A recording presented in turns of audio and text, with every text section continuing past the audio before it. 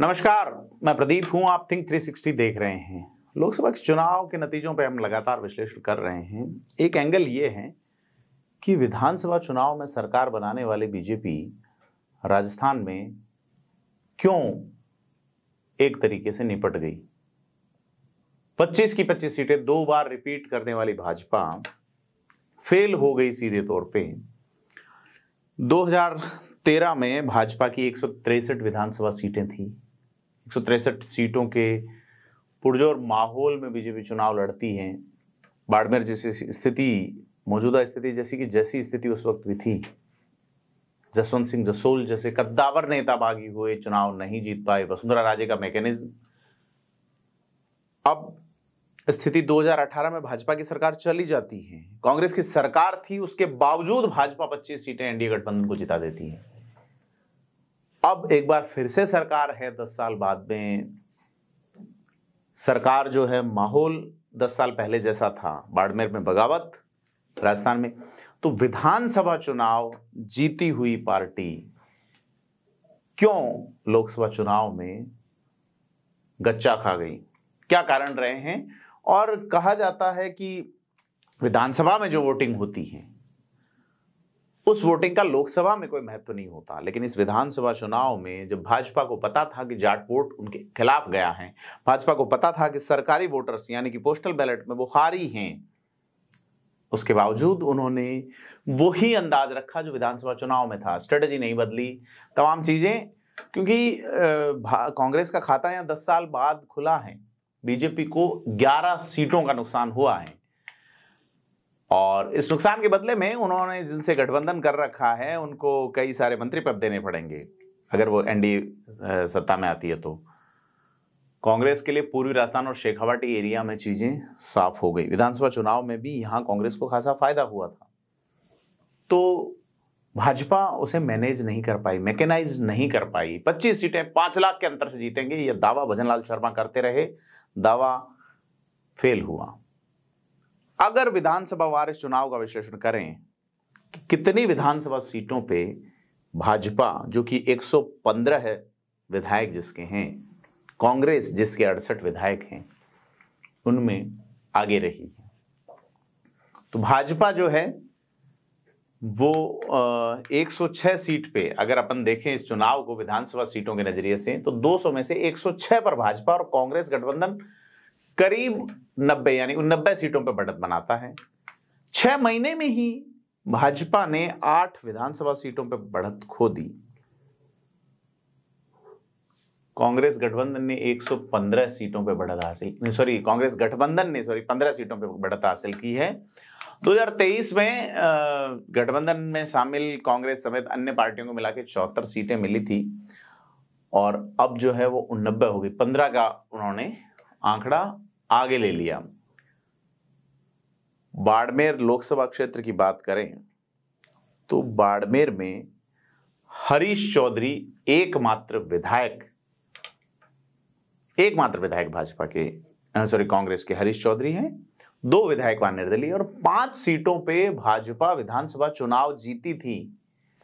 लेकिन बाड़मेर में भाजपा आठ में से एक भी विधानसभा सीट पर बढ़त नहीं बना सकी।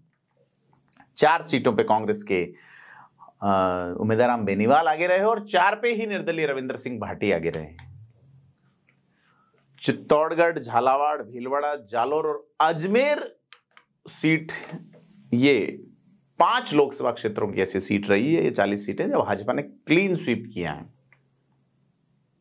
जहाँ भाजपा क्लीन स्वीप करते हुए कांग्रेस से आगे रहती है। गंगानगर, जयपुर ग्रामीण और बांसवाड़ा लोकसभा क्षेत्र ऐसे हैं जहाँ कांग्रेस आठ में से सात असेंबली क्षेत्रों में आगे रहती है। 19 2019 के लोकसभा चुनाव में भाजपा को एक और कांग्रेस को 15 विधानसभा सीटों पर बढ़त मिली थी। अब अगर मंत्रियों के हिसाब से बात करें, जहाँ से विधायक बने और बाद में मंत्री बनाए गए तो उन लोगों की बात करें तो पाँच लोग ऐसे हैं। जो विधानसभा चुनाव में जीतते हैं, लेकिन उस इलाके पे भाजपा पिछड़ जाती है। और कांग्रेस के साथ भी एक खेला है। पाँच मंत्री ऐसे हैं जिसमें किरोड़ीलाल मीणा है, गजेंद्र सिंह खियूसर है, सुमित गोदारा है लोणकरणसर से, जवाहर सिंह बेडम है और के के विश्नोई गुड़ामलानी। कांग्रेस की और बात करें बड़े नेताओं में तो अशोक गहलोत का विधानसभा क्षेत्र सरदारपुरा कांग्रेस नहीं जीत पा रही। लगातार अशोक गहलोत मुख्यमंत्री थे तो भी नहीं जीता, और इस बार नहीं है तो भी नहीं जीता। CM Bhajanlal Sharma, deputy CM Diya Kumari व डॉक्टर प्रेमचंद बैरवा की सीट पर भाजपा ने ज़रूर बढ़त हासिल रखी। पीएम मोदी की राजस्थान में आठ सभाएँ हुई, एक रोड शो हुआ। मोदी ने 2 अप्रैल को कोतपुतली, जयपुर ग्रामीण लोकसभा की सीट, चूरू, अजमेर लोकसभा की पुष्कर करौली, बाड़मेर, दौसा में रोड शो किया, भीनमाल और उनियारा में सभा की। तो दौसा, बांसवाड़ा, टोंक, सवाई माधोपुर, करौली, धौलपुर, बाड़मेर और चूरू में भाजपा हार गई। कितनी सीटें? पाँच सीटें हार गई आठ में से, जहाँ प्रधानमंत्री नरेंद्र मोदी दौरा कर रहे हैं। केवल जालोर, अजमेर और जयपुर ग्रामीण ही भाजपा जीत सकी और जयपुर ग्रामीण में अंतर 2000 से खासा कम है 2000 भी नहीं है। अमित शाह का जो रिज़ल्ट रहा है, वो खासा प्रभावी रहा है, नरेंद्र मोदी की बजाय। अमित शाह जहाँ दौरे करते हैं, अमित शाह ने हरसोली, अलवर, भोपालगढ़, उदयपुर, भीलवाड़ा और कोटा में सभा की थी। इसके अलावा सीकर, जयपुर और उदयपुर में भी रोड शो किया था। सीकर के अलावा भाजपा सारी सीटें जीत गई हैं। अब अगर कांग्रेस की बात करें तो बड़े नेताओं का कोई जादू ज़्यादा चला नहीं है चुनाव में। जहाँ सोनिया गांधी, राहुल गांधी और प्रियंका गांधी का प्रचार रहा, वो सीटें भी लगभग हारी हैं। क्योंकि सोनिया गांधी ने जयपुर में प्रचार किया था, सभा की थी। राहुल गांधी ने बीकानेर और जोधपुर में की थी। प्रियंका गांधी ने जयपुर, जालोर और दौसा में सभा की और अलवर में रोड शो किया था। केवल दौसा के अलावा कांग्रेस प्रत्याशी हार गए। इससे एक चीज़ है कि चुनाव जो कांग्रेस का था वो राष्ट्रीय मुद्दों पे था नहीं। राष्ट्रीय नेताओं को नकार दिया लोगों ने। न, स्थानीय मुद्दों पे कांग्रेस फोकस करती है स्थानीय कांग्रेस। तो यह तय है कि आपका स्थानीय कार्यकर्ता अगर मेहनत नहीं करेगा आप चुनाव नहीं जीतेंगे। भाजपा के साथ ये भाजपा ने देखा कि ठीक है ऊपर वाले मामले से माहौल बन जाएगा नहीं बना। कांग्रेस ने देखा नीचे से काम करना पड़ेगा। किया अग्निवीर को वो लाए चाहे संविधान बदलने वाला उन्होंने जुमला फेंका और तमाम चीज़ें निचले लेवल पे फ्लोट की उन्होंने। 25 सीटों पे, सभी 25 सीटों पे विधानसभा चुनाव के लिहाज से वोट शेयर गिरा है, कांग्रेस का बड़ा है। भाजपा ने पिछली बार उनसठ प्रतिशत था, इस बार उनपचास प्रतिशत वोट हासिल किया है। नौ पॉइंट सोलह प्रतिशत कम वोट हासिल हुआ है भाजपा भाजपा का। कांग्रेस ने आठ पॉइंट बाईस की बढ़ोतरी की है। कांग्रेस का बयालीस पॉइंट, बयालीस प्रतिशत वोट रहा है। अन्य को सात पॉइंट पाँच एक फ़ीसदी और नोटा को पॉइंट आठ चार फ़ीसदी वोट मिले हैं। बाड़मेर सीट पे तो बीजेपी को पिछले चुनाव के मुकाबले बयालीस प्रतिशत कम वोट मिले। 2019 के अनुपात देखें तो करीब 30 लाख वोटों का घाटा सीधे तौर पे बीजेपी को हुआ है। तो जो चुनाव था, कुल मिला के राष्ट्रीय मुद्दों पे भाजपा लड़ना चाह रही थी और उम्मीद के मुताबिक नतीजे नहीं मिले। बीजेपी की हार की कई वजहों पे हम विश्लेषण कर चुके कि अतिशय आत्मविश्वास। कैबिनेट में कद्दावर मंत्रियों का नहीं होना, ऐसे नेताओं का कैंपेन में नहीं होना जिनकी पूरी राजस्थान में टीम हो। स्थानीय मुद्दों पर कांग्रेस के आरोपों का प्रभावी तरीके से जवाब नहीं दे पाना। कांग्रेस अपनी लड़ाई सड़क पर नहीं ला, आ, लाने में सफल रही नहीं लाने में सफल रही।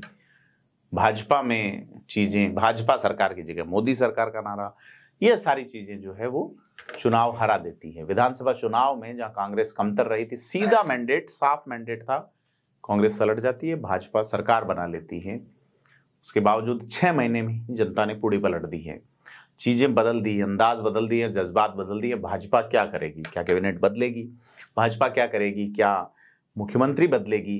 तमाम बड़े सवाल हैं जिनका जवाब आना है। राजस्थान में ऐसा क्या हुआ जो मध्य प्रदेश से इतना रिज़ल्ट आया? छत्तीसगढ़ से इतना रिज़ल्ट आया, सात सात चुनाव हुए थे। गुजरात से इतर, हिमाचल से इतर। पंजाब वाला इलाका ज़रूर भाजपा का जितना कोई गढ़ रहा नहीं। लेकिन उत्तर प्रदेश का सेक्टर अलग, राजस्थान ने ऐसा क्यों डेंट दिया? सीधे तौर पे भाजपा को बड़े सवाल हैं। कांग्रेस की स्ट्रेटजी, भाजपा की स्ट्रेटजी, वसुंधरा राजे को किनारे करना, बड़े नेता ज़्यादा वोट नहीं ले सके। तो यह सारी चीज़ें जो है, कुल मिला के भाजपा की हार की वजह बनी है। विधानसभा चुनाव, वोट शेयर, उस पर विश्लेषण। आपको कैसा लगा हमें कमेंट करके बताएँ। वीडियो को लाइक, शेयर, सब्सक्राइब ज़रूर करें। धन्यवाद।